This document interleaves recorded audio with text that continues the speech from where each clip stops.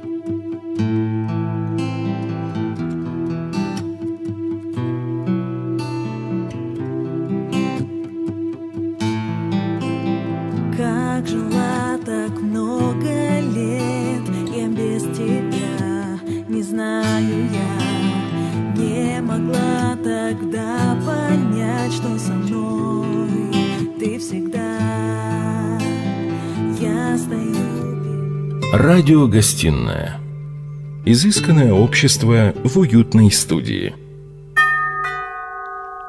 Да-да, еще какое изысканное, еще какое общество, еще какой уютной студии сегодня в нашей радиогостиной. Екатерина Горбунова. Катя, привет.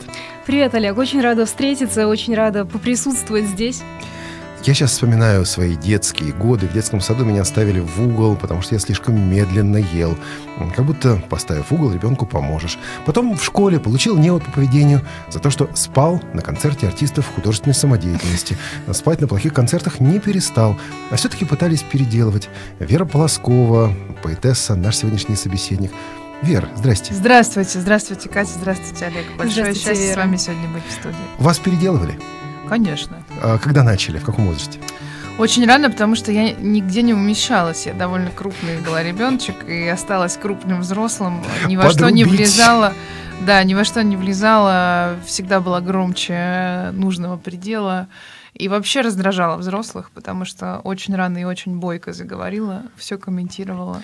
И вас просили замолчать? Меня просили замолчать, А меня замолкали? просили занимать меньше места в пространстве. Меня по-всякому очень э, переделывали и продолжают, собственно, до сих пор. Но все это способствует выработке э, такой же э, сверхнормы, как и все остальное иронии, поэтому она меня спасает. Ой ли, способствует ли? Я встречал людей, думаю, вы их тоже встречали, которые говорят, ладно, меня переделывают, значит, я плохой, значит, я никуда не гожусь.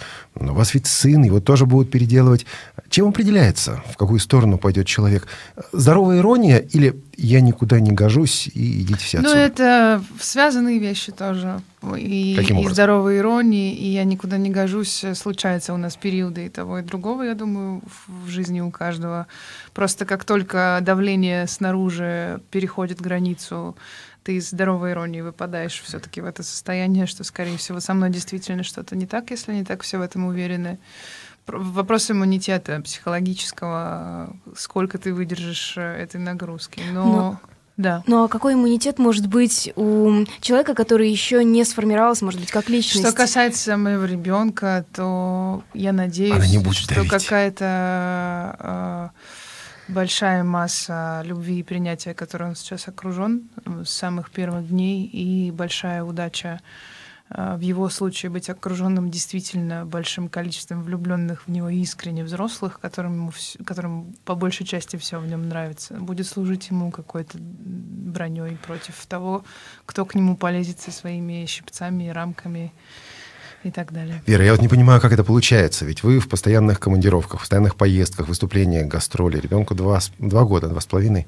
Два с половиной А будет. Как, что, любить ребенка на расстоянии? Как вы Я находите беру- вот... брала его с собой полтора года. Полтора суще- года ребенку? Существования я возила его везде с собой. Мы ш- 16 концертов э, 16 концертов сыграли, когда я была на шестом, на седьмом месяце, еще 20 сыграли, когда ему было 8-9 месяцев. И вам не говорили, вы опять не умещаетесь в общепризнанные Нет, ну, стандарты? я потому уже, что слава богу, занималась настолько своей работой, что и такая у меня была правильная семья к тому моменту, поскольку э, с мужем моим э, мы, собственно, в одной команде играем, и мы просто брали его с собой, поскольку мы довольно быстро и довольно легко обо всем договорились. Мы поняли, что сейчас отрывать по-живому его от себя невозможно. Он, э, во-первых, грудной, во-вторых, э, самое главное, что с ними в детстве происходит, это как можно больше быть с родителями, а все остальное это уже детали, поэтому мы, он обожает, он потомственный путешественник, он обожает поезда, обожает самолеты, он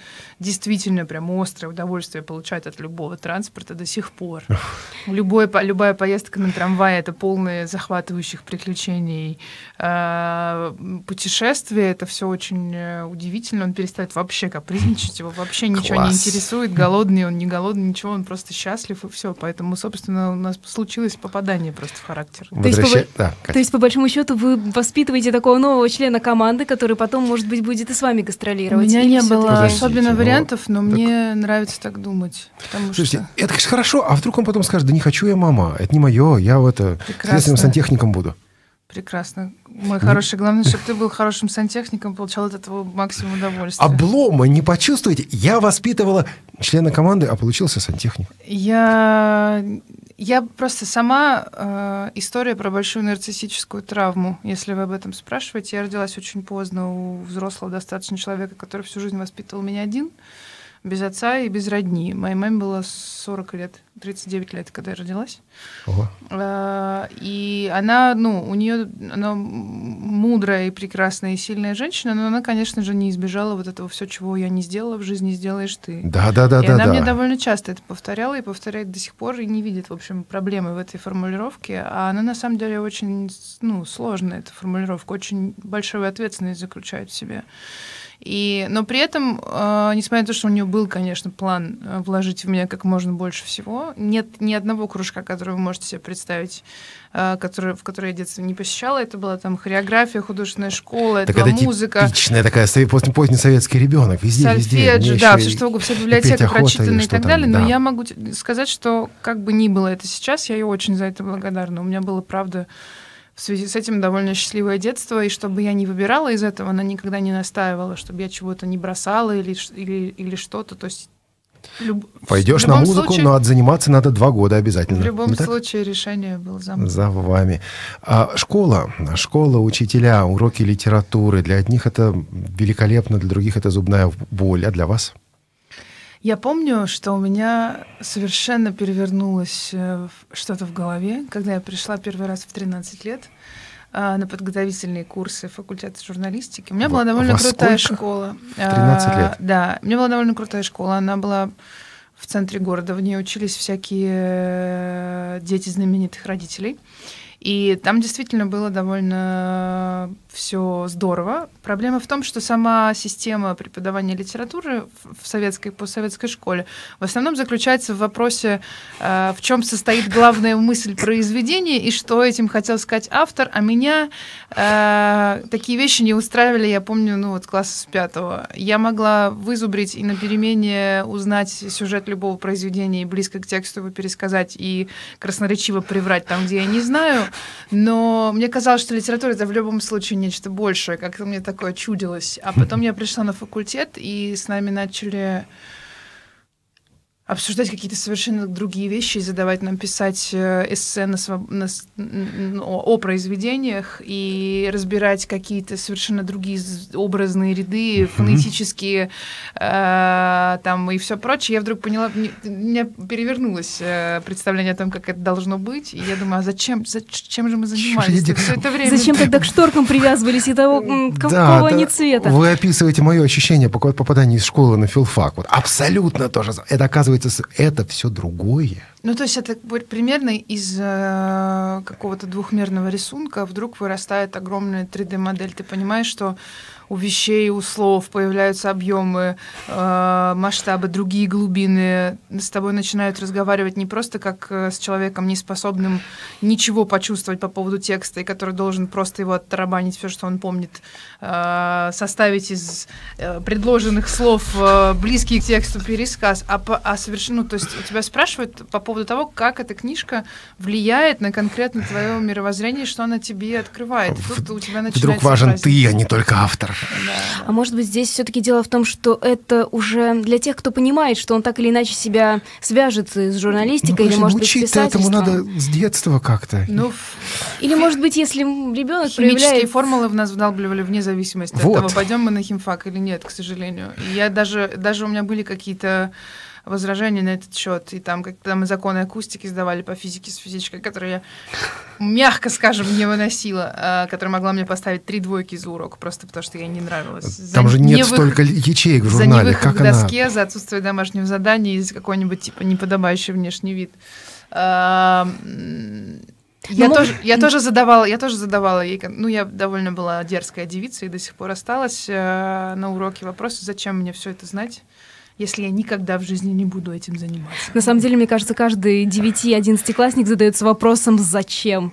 Так Зачем вот, мне я это?» Надеюсь, когда я смотрю на своего ребенка, э, и мысленно его поздравляю хотя бы с тем, что он родился, слава богу, уже в совершенно другой образовательной ситуации, что существуют э, другие ну, то есть объединение по другому принципу, что кроме государственных школ и систем преподавания в них э, есть школы с другими приоритетами, есть частные школы, объединенные по другому принципу, есть вальдорфские школы, где э, дети в качестве выпускных экзаменов сдают огромный последний там спектакль, в котором они играют на духовых инструментах и демонстрируют все, что они выучили за этот год.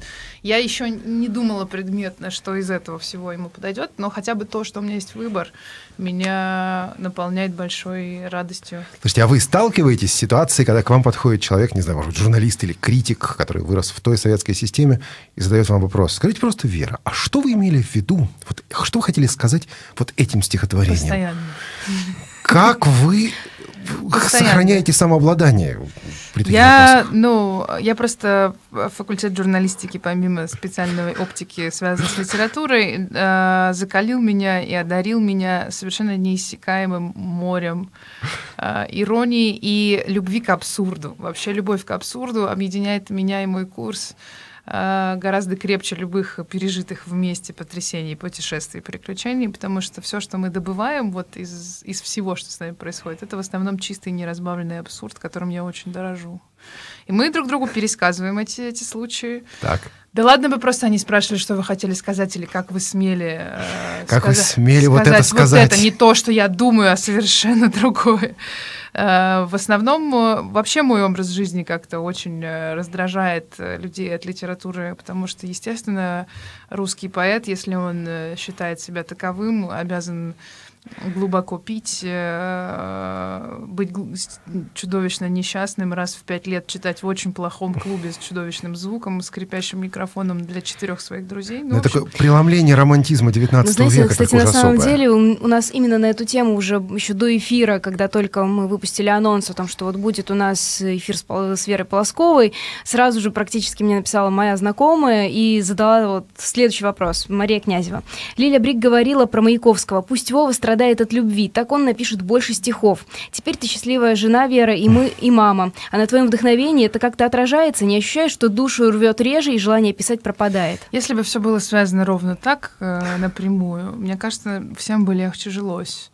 Но, э, к счастью или к несчастью, когда у тебя появляется ребенок, э, вещи, которые тебя, с которыми невозможно жить в одном мире, их становится в два раза больше, если не в три. Потому что, ну, до этого тебе просто не приходило в голову вообще, что происходит. То есть Теперь любой ребенок, которого там бьют на улице или на которого орут в аэропорту, ты не можешь на это равнодушно реагировать. Раньше тебе казалось, что это личные дела больных людей.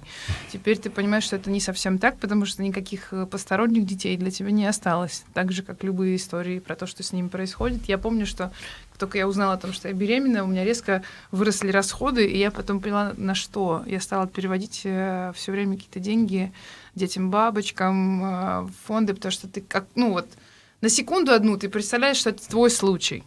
Что из всех этих вот совпадений с тобой случилось то же самое. И ты больше не можешь жить. Все эти люди не могут тебе больше быть чужими. Поэтому я ну, э, все совсем не так просто, как кажется, хотя, конечно, дети — это большой праздник, и, собственно, про этот праздник и в благодарность этому празднику написанная детская книжка, которая называется «Ответственный ребенок». Это новая книга, которая вышла совсем недавно, не так ли? Да, она вышла зимой, и Она... даже уже продала свой первый тираж весь, и вышел до печатка. А зачем? То есть, вот, скажем так, вы писали это для кого? Я писала это себе в детство. А, это себе в детство. Это да. не кому вот моя целевая аудитория и так далее. Да упаси Господь. Слава Богу. В тот момент, когда я начну так говорить, можно смело увольнять меня. Вера, а не было никогда страха, что вот с таким определенным взрослением, что ваша аудитория не успеет повзрослеть вместе с вами, что вот те, может быть, девочки, девушки, которые полюбили вас энное количество лет назад, которые, может быть, полюбили какие-то определенные совершенно вещи, совершенно такие с долей здравого или, может быть, где-то слишком громкого протеста вдруг э, перестанут э, ценить какой-то новый этап жизни? Ну, Они же растут. Я уверена, что есть, есть и такие, и я лично получала, в общем, э, такие горькие слова прощания по поводу того, что вот вы когда-то были на острие, э, в, протесте, во всем вы вот знали про нас, а теперь э, все изменилось там и так далее. Так но... для человека это личная боль, между прочим. Но Он мне, потерял кумира. Но мне, честно говоря, радостно, когда это происходит. Это значит, что ничто не стоит на месте, и все меняется. Как бы было скучно 20 лет подряд э, работать и видеть э, в зале одних и тех же людей. Как хорошо, что происходит некоторая ротация. Говорят о том, что ваша аудитория — это юные девушки. Готовясь к эфиру, я сначала столкнулся вот с этим утверждением, потом смотрю, да неправда это. Да, это не так. Совершенно, это такой какой-то миф вокруг Веры Полосковой. Ну, как... на, на самом деле, я как человек, который видел в зал изнутри, э, я могу сказать, что это я даже не могу, если вот говорить о той же самой пресловутой целевой аудитории, вы, выделить вот одну и сказать, так, вот это вот светловолосые, голубоглазые блондинки, или там наоборот, может быть, зеленоглазые брюнетки от 15 до 19 среднего телосложения. Нет, было бы есть абсолютно... легче, если бы так можно было сказать, но ко мне уже приходят давно есть на выступление и с родителями. дамы, и совершенно небольшие да. дети, и совершенно такая разномастная аудитория. А, кстати, у нас есть нравится. несколько сообщений. Давайте Давай их сразу, сразу. Да, озвучим. Пишет Александра. Вера, как вы сами относитесь к совместному с Ваней Нойзом релизам на ваше стихотворение? Удался? А, да, Ваня хотел э, записать песню с э, использованием его текста. Мы давно с Ваней дружим, и и общаемся. Ваня невероятно глубокий, и чистый и удивительный человек. Из всех, мне кажется, рэперов, которые, которых можно себе представить, он один из самых вообще прекрасных. Мы одно из сообщений оставим на самый конец передачи, Катя. Я думаю, ты поняла, про какое а, сообщение да, я, я вполне говорю. поняла, потому что тут два сразу про нойзы. Да. Вот, ну, а то пока отложим. А я хочу Какое-то оно на... содержит, содержит э, а справедливый вот гнев. вас. Да, да, уж, пот- уж потом. А, смотрите, еще один упрек, который приходится слышать, и готовясь к эфиру я увидел, это не настоящая поэзия, это попса от поэзии, это эстрадная поэзия. Но, с другой стороны, ну, помилуйте, ну, Маяковский читал на эстраде, ну, Евтушенко, Вознесенский, Рождественский читали на эстраде. То, что вы делаете, вы считаете попсой, или это продолжение традиции, или это не то, ни другое? Я никогда не пыталась со стороны оценить, насколько это попса или не попса. Э, если мы говорим о попсе как о чем-то востребованном широкой аудитории, то я рада, что у меня много читателей. Это часть э, вообще моей большой радости того, что я узнала довольно рано про собственное предназначение и стараюсь ему следовать. Вот и все. Но э, могу сказать, что то, что считается многими не попсой, а какой-то очень закрытый, элитный, сложный Вот. э, и прочей литературой, э, мне, например, бывает совершенно недоступно. И э, мне кажется, уступает во многом тому, что сейчас собирает стадионы, потому что вообще структура потребления и разделения на элитную и неэлитную культуру очень сильно изменилась с приходом интернета. Мы больше ничего не не раз- ну, как сказать, так, так, не все так просто стало, к сожалению.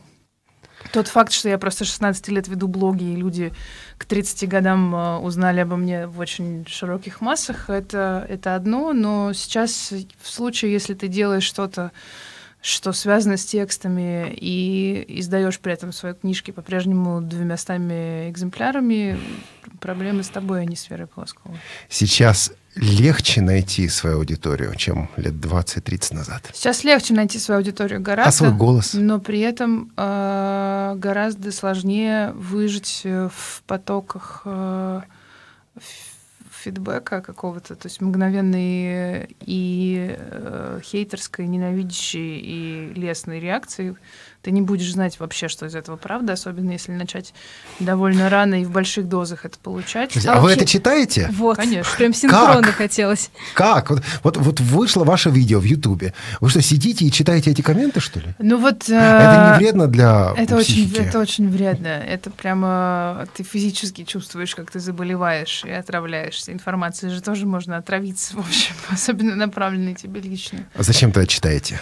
Но это невозможно сделать, что-то производить, не э, обращая, обращая внимание на то, да, какие отклики это получает, тем более, если это непосредственные какие-то отклики, тем более, если ты это делаешь, в общем, всю свою жизнь. И Мне казалось, ну, в хорошие дни мне, мне кажется, что у меня хороший иммунитет, и что я знаю, а, как закрываться, как, как прятаться, как защищаться и не заболевать, и над всем этим смеяться. В плохие дни меня убивает, и я считаю, что все это последний год, когда я даю публичные какие-то выступления, когда я что-то делаю на публике, я ухожу, и мне это все больше не нужно и так далее.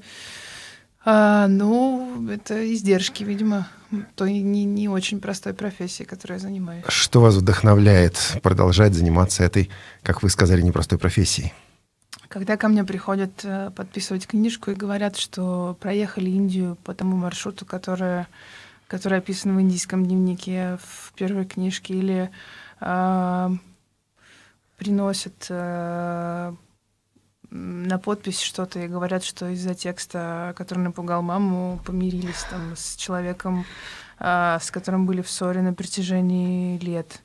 Или что-то, что-то, тогда я понимаю, что просто другие голоса не так слышны, и это люди вряд ли будут писать об этом комментарии, и я как-нибудь иначе, кроме как в личных беседах, не получу об этом никакого сообщения. Но то, что это происходит, гораздо важнее всего этого. Самый яда. первый концерт, помните его? А вот он был э, ровно 10 лет назад, прямо без трех дней. Ух ты! Да, мне был 21, и мой э, тогда еще ЖЖшный приятель, э, который заведовал маленькой поэтической программой в доме Булгакова, сказал, а ты не хочешь прийти почитать к нам, вы? к нам на веранду? Я была, во-первых, меня трясло три дня, я помню, я не могла есть, не могла спать. Мы собирали программу с моей подругой Полиной, с которой у нас была такая микрокоманда, мы выходили, э, я еще, я еще и пела тогда. И вот мы собирали стихи, собирали песни. А, и я думала, ну, придет вот четыре моих приятеля, дорогих сердцу, и сердце мое сразу как-то успокоится и возликует. Там было 150 человек, они не все влезли на эту веранду, в которой нем- немного, немного их помещалось, и меня, я помню, так это поразило. Какой процент своих стихов вы никогда не прочитаете в, в концерте? Есть такие? Я думаю, что сейчас это процентов 60. Эти стихи не будут прочтены в концертах. Конечно. В концерте, на, концертах я читаю то, что написано в последние четыре года. А из- Наверное, а, лучше, потому лучше что тогда они- переспросить и спросить, а какие никогда не увидят свет. И никогда какие не будут опубликованы. Пишите ли Да. вы в стол? Э, ну, какие-то никогда не будут опубликованы. Посчитать их, сколько их процентно, я, наверное, не смогу. Но они есть. Но их они, конечно, есть. Потому что это личное или потому что это запретная тема? Не, или потому ну половина это... просто устарела. И, Прямо так? И уже оно ну, не, не, не референтно. Как, как оно может устареть? Ведь вы же читаете свои старые стихи. Э, какие-то, которые кажутся мне все еще имеющие право на существование. Большая часть из них уже безвозвратно, в общем, мне не принадлежит. Написано человеком, которого я даже не могу вспомнить. То есть вот прямо так человек меняется, и стихи как бы уходят вместе Конечно. с прошлыми годами? Другой голос. Я помню, что я, ну как вот, как, как не знаю, как какой-нибудь э, человек, который с шести лет на сцене протестует против того, чтобы ставили его семилетние записи или релизы, потому что, ну, это все, все изменилось, в общем. А, так и у меня было чувство, я помню, мы доигрывали стихи о любви в практике. Мы играли их три года, в общем, три года — это не очень большой срок. Но когда я выходила уже в послед... на последних спектаклях, я понимала, что ничего из этого, из того, что мы читаем со сцены, уже не чувствуете? Я уже близко не смогу написать. Ну, просто это не, не мой способ доносить э, вещи, да, передавать эмоции. Это, при, это, ну, это мило, что это есть, что это состоялось, что люди это слышат, что как-то на них это влияет, но я уже не могу под этим толком подписаться. Есть вопрос от Причем Эли. его повторяют уже в нескольких сообщениях даже. Да, эм, вопрос от Эли. Ах, Астахова, Ася Астахова, конкурентка, коллега или подруга? Я мы не знакомы, и, честно говоря, это в другом мире для меня происходит все. Еще один вопрос здесь же. Как случилось опять совместная работа с Noise MC? Вы сказали о том, что это здорово. Ну, как началось Слушайте, у меня вообще много, как ни странно, дорогих моему сердцу коллабораций. Например, у Сурганова есть песня... Чайковская. Э, Гертруда на мой текст. У Вани вот есть этот сингл, у группы Мегаполис э, есть написанный на мой текст э, сингл, который называется «Другой», который я очень люблю. А, да их огромное количество. Вова Крестовский писал песни на мои, на мои тексты. У меня довольно просто... Это даже ничего специального для этого не делаю, я просто с ними со всеми общаюсь. И по факту дружбы какого-то общения мы придумываем какую-нибудь песню. Это так а всегда и бывает. Песня на стихи — это все таки комплимент автору или, может быть, попытка отобрать какую-то частичку вот души, которая была вложена в это стихотворение в момент написания, в момент или его дополнить. прочтения? Случается, что я вообще не могу слушать то, что написано. Мне присылают, и я понимаю, что человек настолько не попал и сделал что-то такое нехорошее с моим текстом. И что? Вы ему говорите, ни в коем случае, вы не имеете да права нет, это пусть петь, он играет. исполнять. Пусть он играет. Больно же? А бывает, что я вот как с Машей, что какой-то совершенно забытый текст э, извлекается на свет, э, становится песней, и я вдруг слышу то, что я вообще не могла в нем предположить. Так это грустно, и так это честно, и так это вообще совсем не стыдно, как мне казалось. Это прям удивительно. Аудитория, большая аудитория, стадион. Вы читаете стихотворение, но каждый из них, каждый из слушателей воспринимает его по-своему. Тысяча толкований, пять тысяч, десять тысяч толкований. Вы не боитесь, что люди извратят то, что вы написали, и оно заживет своей жизнью, которая вам уже, собственно, не принадлежит и никак не подвластна. Про так, вас и, так и происходит. Но это же так всегда бывает, что в этом... Это часть плана, к сожалению. Так всегда бывает с каждым текстом. То есть вы не будете переживать по поводу того, что нет, нет, нет, я не понята, я не принята. Нет, ну, конечно, из э, тех, кто даже все это там, не знаю, репостит и читает наизусть на видео, и все вот это, не знаю, процент, пол, полпроцента понимает, э, о чем они говорят. Но некоторые же понимают, и ради этого все и делается. Но есть и другая сторона. Читая ваши тексты и слушая ваши записи, я вдруг понял, что вы говорите слова, которые э, вертятся у меня, но я их высказать не могу. И получается такой резонанс, и звучит, и оно начинает э, звучать. И это самые разные люди, от, от имени которых вы пишете, хотя все это в одном человеке. Как ухитряетесь прочувствовать? Не знаю, я никогда в жизни у меня не было плана э, кому-то дать голос, э, кто мне казалось его не имеет, как, как есть вот эта знаменитая цитата про без улиц про улицу без языка. Да, да, да, да, да. Но улица Корчилась улица без, без языка, мне кажется, Маяковский. вполне за себя говорит, а то, что мне самой себе время от времени нужно объяснять, что происходит, и ну, каким-то образом исцеляться от э, какой-то густой мглы, которая вот меня заполняет, и мне ничего с ней не удается никак поделать. Все, что написано, все исключительно про меня и про моих там внутренних обитателей. Поэзия как способ какого-то самоисцеления или осмысления Конечно, мира? абсолютно. То есть она нужна вам? Терапевтическая история, точно.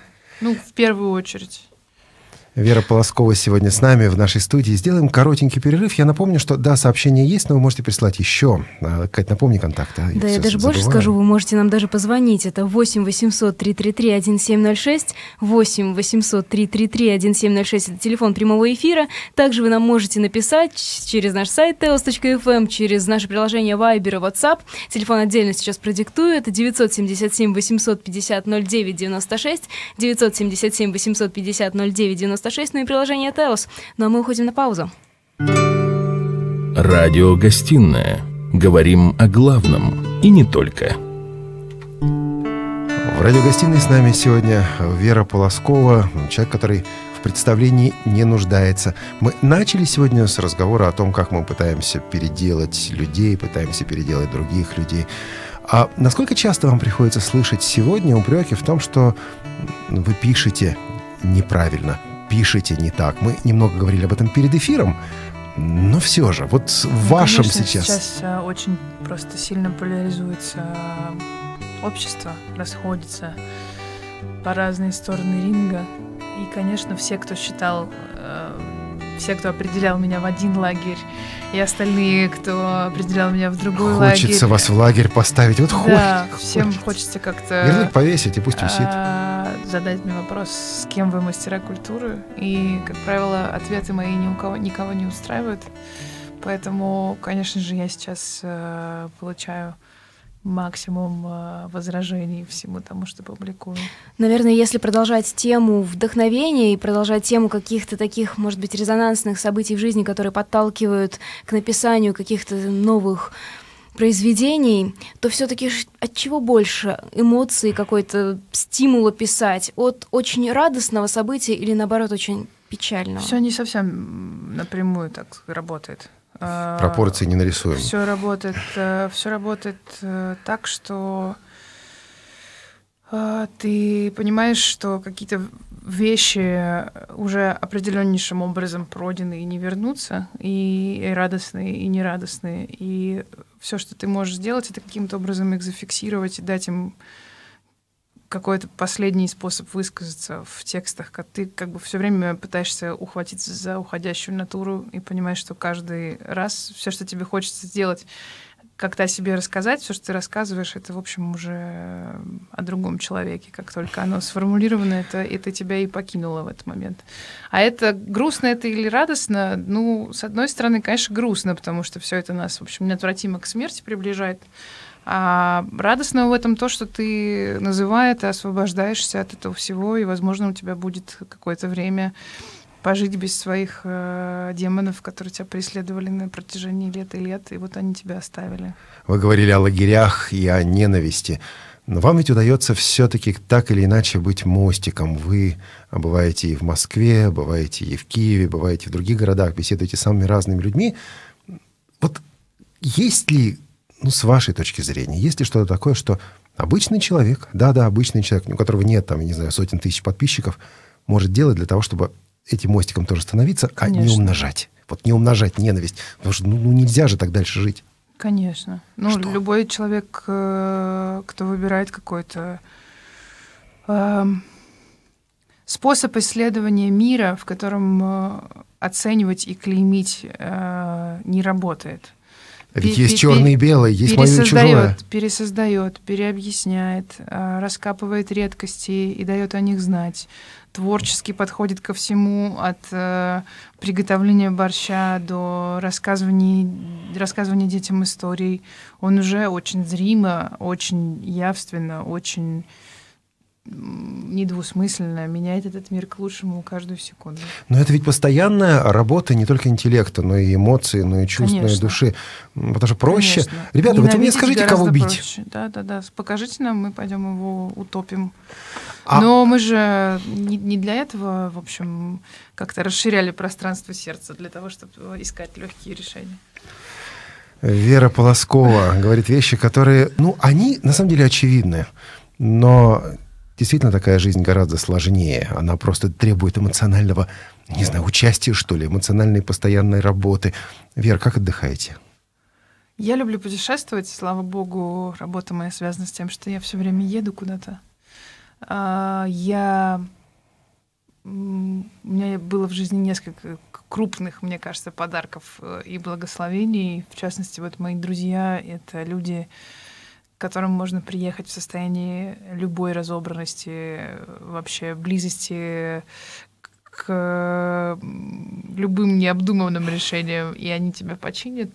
И это за, за это им большое спасибо. Ну, и еще у меня есть ребенок, он э, сосредоточивает большой объем света в моей жизни. Вы несколько раз говорили о поэзии как о работе.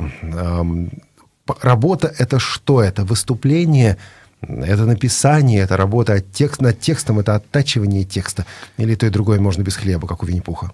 Мне кажется, что это работа э, в том смысле, в котором Иосиф Бродский ответил на вопрос, над чем вы сейчас работаете над собой он ответил. Мне кажется, что все это и редактура, и переезды, и гастроли, и там подборки, и всякие вещи — это только следствие, а причина как раз, ну вот, самое главное происходит э, в том самом, в той самой работе над собой. Если говорить о каких-то запретных темах или, может быть, о каких-то внутренних, даже не то чтобы барьерах, а ну, может быть, стоп-сигналах? Есть ли то, о чем вы никогда не захотите или, может быть, не станете принципиально писать? Ну, у меня есть говорить? вещи, которых я не касаюсь в текстах, это правда. Не могу назвать это запретами или барьерами. Мне кажется, что это вопрос э, исключительно вкусовой, потому что сейчас и, и дурновкусие, и пошлость, и э, ну, просто плохое качество текста определяются не выбором темы, а просто тем, как это сделано. Ну, хороший текст от плохого ты отличаешь не, не потому, что в одном есть мат, а в другом нет, а просто как, условно говоря, это качественный текст или нет. Не темой определяется, просто есть какие-то вещи, про которые мне бы не хотелось которые бы мне бы не хотелось затрагивать, и я стараюсь их не затрагивать. Насколько вы готовы писать или делать что-то на заказ? Ну, например, какая-то компания говорит, вот вам наша футболка с нашей символикой, выступайте, пожалуйста, в ней. Или говорят больше, ну, упомяните, пожалуйста, как-то наш продукт. Позвали на выступить на корпоративе большого тракторного завода а, с вопросом написать стихотворение к 80-летию трактора. Боже, и как? Ну, я, я сказала, что мне жаль, но для этого есть такие классные специалисты. А я максимум могу детский стишок только написать про трактор. Собственно, он написан. И его, ну, как-то это будет недостаточно для такого большого праздника. Да, про дорогу Алена Елена спрашивает. Это поэтому у вас так много стих, э, произведений, написанных в поездах? Ну, Нет. отчасти, да. Я просто, ну, действительно 10 лет практически не останавливаюсь, перемещаюсь. Скажу страшную вещь, но я предполагаю, что кто-то ее скажет уже не вам, уже не вам, а какой-нибудь девочке помладше лет на 15. Что ты мечешься, девочка? Что тебя кидает оттуда сюда? Возьмись ты за дело. Если надо, лекарств попей, ибо есть они на рынке. И успокоишься, и будешь жить, как все. Предполагаю, что вы такого, конечно, никогда не слышали. Нет, я постоянно это слышу. Я просто, ну, мне кажется, что в 2017 году одна из огромнейших отвоеванных свобод человечества заключается в том числе и в отвоевании личного рабочего места, которое может и в гамаке находиться на берегу моря, где угодно, потому что, слава богу, с приходом глобальных коммуникаций мы можем быть собой э, в любой точке мира и практически не снижая эффективности, а иногда ее увеличивая, потому что если работа твоя связана не с банальной какой-то рутинной, вот, паденной такой а, обязанностью, а, например, с, с генерированием идей, э, замыслов, э, текстов, чего-то такого, то, конечно, ты эффективнее становишься в тех местах, где душа твоя поет. Неоднократно в ваших стихотворениях прослеживается такая мысль. Вот бы стать как все, стать обычной самой Ну, я стать. думаю, что это это ш- лукавство. Шутка. Нет, это просто... Это, Ирония такая, нет? Это, это прием... э, это прием... Сейчас литературоведение начнется. Подожди, на Катя. котором- Так я же не против. э, используя который контрастнее становится все то, что ты о себе потом рассказываешь. У тебя есть какой-то идеал обычного человека, обывателя в голове, и все, что звучит дальше в тексте, э, опрокидывает этот идеал, но в этом есть большой смысл. Это создает, в общем, какое-то движение. Вот бы стать как все, на самом деле стать как все не получается. Нет Не- никаких всех, потому что... Вот, они все разные, они все разные. И вот это вот, а, помните, как у Маяковского, у него там э, единица вздор, единица ноль. Я предполагаю, что не согласитесь и очень не согласитесь. Я вчера ехала в машине Так. из аэропорта домой с человеком, который э, вообще от Домодедова до дома это полтора или два часа, и, в общем, так или иначе ты узнаешь о человеке все, с которым ты едешь в машине. Но это еще был очень... э, Тут еще когда веду- везут специ- тебя это, туда. это был специальный персонаж, потому что мы начали за здравие и о погоде, урагане, а, реновации там, городе и так далее. А, За за- а а закончили- урагане и реновация это за здравие, а товарищи. закончили, а закончили какой-то такой потрясающей историей, которую мне рассказал. И я в очередной раз, Катя, поняла, как мы все э, невероятно обольщаемся по поводу какого-то усредненного идеала человека, или мы знаем, как среднестатистический гражданин живет, или что-то. Тот человек был из Белгорода, он э, таксует в Москве всего полтора года. Он в Москве, потому что он развелся, у него были огромные долги, жена его работает э, судьей, он был работал на таможне, и как бы ты вот дальше ты думаешь, и при этом, как сказать, уровень иронии, уровень э, начитанности, уровень невероятно здорового отношения к ситуации в стране. Человек вообще-то на госслужбе, да, у него, наверное, должны были быть какие-то другие представления. Уровень трезвости и понимания того, как все должно быть устроено, и все устроено не так, но он прилагает большие усилия. Уровень того, как он говорит о, о ребенке своем, во всем. Я вот понимаю, что я себя еду и внутренне э, в очередной раз над собой смеюсь. То есть ты вот думаешь, что ты как-то себе представляешь человека, который смотрит новости, усредненного зрителя Первого канала, как ты себе там с ним внутренне споришь, что ты ему пытаешься доказать. На самом деле мы сотканы как нация, как, как государство из таких разных ниток. Как, как это все удерживается в одном полотне, представить невозможно, но просто начни изучать одно, и по представлению о каком-то вот том самом э, обывателе у тебя изменится навсегда, потому что с кем ты не, не заговариваешь, особенно в России, мне кажется, потому что здесь-то вообще очень специальный э, набор судеб осуществляется вокруг тебя вечно. Как Бродский говорил, всех, кто, мне кажется, жил в России, все, у всех должен быть автоматический пропуск в рай. А, Еще он говорил, что поэт, в принципе, писатель живет только в своем языке. Были ли попытки писа- писать на других языках и увенчались ли они успехом? Нет, не, не увенчались. Были, но не увенчались. Переводит зато меня классно иногда, и я этому очень радуюсь. Читаете переводы, как-то анализи- анализируете их? Конечно, конечно. Ну, я говорю на английском, говорю на украинском. Вот эти языки мне доступны, я способна оценить. Тут спрашивают, разыграем ли мы книжку. Да, разыграем, но не здесь, а в другом эфире. Это будет послезавтра. Друзья, обязательно разыграем. Вер, э, смотрите, вы говорите о том, что вот э, нельзя усреднять человека, но у обычного человека, у того усредненного, ладно, не у любого усредненного, но все-таки существуют определенные мифы о звездах. Вот вы звезда. Значит, во-первых, вы оторваны от всех остальных. Конечно. Я э, чудовищно высокомерна должна быть, по идее. Абсо- Да, я, я, я до сих пор не понимаю, зачем вы сюда пришли вообще. Вот, вот как бы, да, да денег не платят и так далее. Вот, а как опровергаете мифы о самой себе? Случается ли вам этим заниматься? Я очень смеюсь. Я так люблю мифы коллекционировать о себе. Они такие все прекрасные.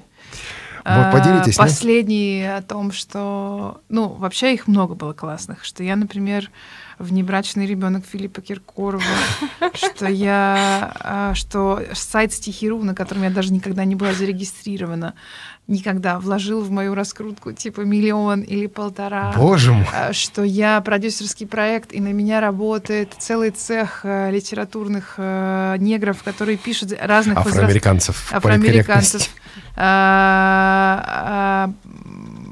Афро- ну, как сказать, Ну, афроамериканцы случае, эти пишут. при этом далеко не только афроамериканцы, а люди всех возрастов, а, в том числе и предпенсионного, потому что у меня много а, а, Да хоть даже миссис стихов, стихов от лица, да, пожилых людей, от лица там мужчин и так далее. Это очень большая команда, которая, значит, вся сидит и пишет. И я часто себе представляю, как она сидит и пишет. Прям я ей желаю внутренне, э, мысленно желаю вдохновения. Вот. Но последнее, естественно, что нет у меня никакой семьи, что ребенок мой, э, поскольку очень похож на отца, это просто моя такая по- подставная, фиктивная семья, с которой я фотографируюсь за деньги, а сама продолжаю, значит, жить на всю катушку. э, Слушайте, часто же приходится фотографироваться, это людей да отвлекать вообще, от я просто на Слушай, секунду да. себе представила, если бы они, правда, а, не жили со мной, а, например, были наняты специально, как бы вот мы вот встречались бы и осуществляли все эти фотосессии бесконечно. Это же просто тяжело. Мы в разных бы концах Москвы бы жили. Еще один миф, который звучит снова и снова. Любой человек может быть звездой, если его раскручивают. Действительно, Веру Полоскову раскрутили. Может быть, не стихиру, но ну, кто-то его раскрутил. А сегодня уж точно любой может быть звездой. А я не звезда, потому что у меня нет такого дядюшки, у которого есть миллион долларов. У меня есть грустные новости в связи Правда? с этим. Даже тех, кто раскручивают, тех, кого раскручивают, и люди, в которых а, вкладываются действительно большие продюсерские деньги и возможности, от СМИ до далеко не всегда э, имеют возможность стать звездой. Очень часто они так и оказываются э, людьми, потрач- потратившими на собственную раскрутку по любой из причин огромное количество капитала, не только денежного, но и медийного и прочего. И так и остаются, в общем, никому не нужны. Что касается меня, это даже смешно, насколько ни один человек никогда за всю историю не вложил ни копейки денег э, в то, что я сейчас делаю, ни в мою команду, ни во что. Просто, мне кажется, мы были с девушкой, с которой мы придумали группу, с Леной Грачевой, которая, у которой сейчас свои проекты, она живет в Питере. Мы просто были максимально друг с другом честны и поделили всю работу, которая нам предстояла. И нам очень понравилось то, что вдруг... Сейчас это уже общее место, а семь лет назад, когда мы выпустили пластинку, это было супер странно, э, что будут, тексты, которые будут звучать как тексты, никакие не песни, никакой не, не рэп, ничего.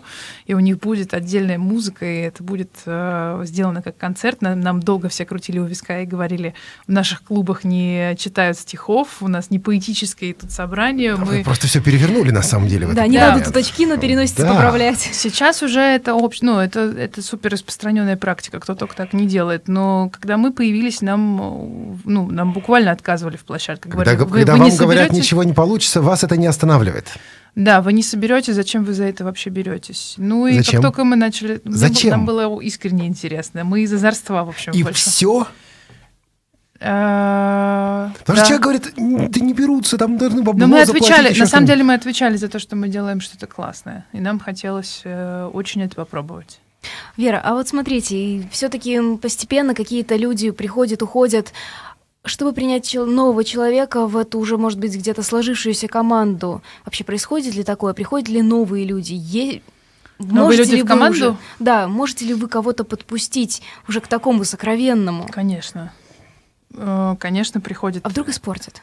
А, Что касается команды, то она а, в- вот последний раз э, изменила состав год назад. Так-то она, в общем, состоит из хорошо знакомых мне уже людей на протяжении лет.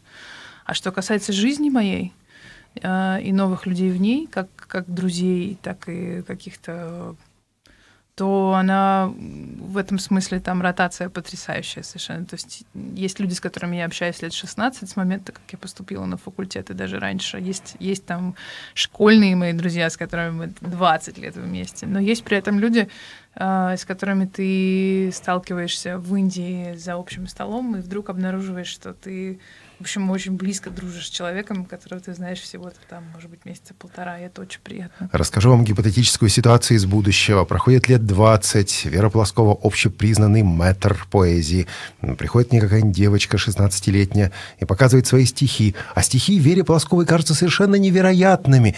Это плохо, так никто не пишет, так нельзя. Я так обрадуюсь этому. Это уже сейчас происходит, и я так радуюсь этому. У меня есть несколько кураторских э, маленьких программ, я вот вожу, например, э, на фестиваль в Плес, Тарковский фест, двух поэтов каждый год, с, которыми я выступаю, которые сами дают концерты, чтобы показать их, ну вот как-то представить.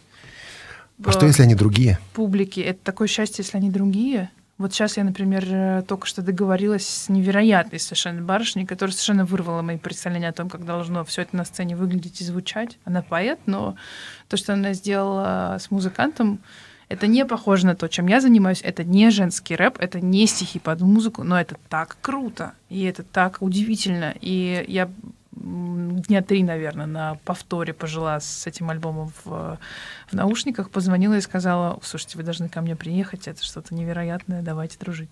Еще одна картинка из будущего, тоже лет через 20, Вере пред, предлагают отредактировать полное собрание полное, ключевое слово, собрание своих сочинений на тот момент, включающее все.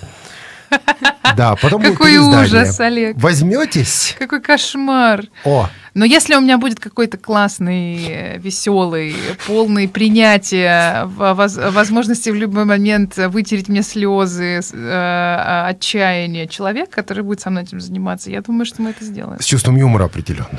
Да, да, ну просто, просто, ну как чуткий. С комментариями автор. Чуткий, чуткий, у которого сердце полях. на месте, да, вот у которого сердце на месте, тогда можно рискнуть. Нет, Тут на самом деле мы не можем просто не задать один вопрос, потому что девушка вот уже второй раз спрашивает. И 30 секунд на него да, в чем, на ваш взгляд, смысл жизни? Для чего вы здесь? Ладно, 50 секунд.